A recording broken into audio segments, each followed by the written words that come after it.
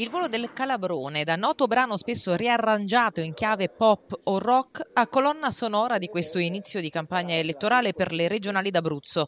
La metafora del presidente Marsilio, che ha utilizzato proprio la trasformazione al centro della fiaba, musicata da Rimsky-Korsakov, parlando di una regione che non poteva volare e invece vola, ha innescato battute e polemiche, paragone psichedelico per il deputato D'Alfonso, improvvido per il segretario Dem Marinelli, Certo è che mancano ancora cinque mesi all'appuntamento con le urne, ma i toni sono già quelli della campagna elettorale. Il deputato di Fratelli d'Italia, Guerino Testa, dice no alle polemiche. Quando si parla di regione si parla di questioni troppo fondamentali per gli abruzzesi, a partire dalla sanità, per passare per le infrastrutture, il sociale, quindi ci può stare un po' di, di ilarità, però eh, a me piace parlare più di contenuti, delle cose fatte, ma soprattutto delle cose da fare. Questo centrosinistra unito è anche una novità a livello nazionale, eh, vi fa paura?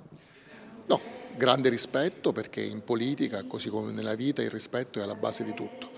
E faccio in bocca al lupo alla coalizione centrosinistra sperando di eh, confrontarsi su temi seri non scadere in in eh, polemiche sterili che non interessano i cittadini. Un pronostico, se la sente già di farlo?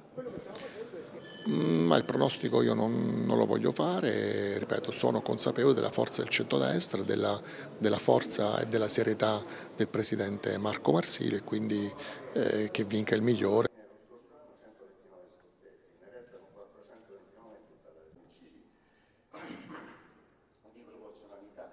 per non gravare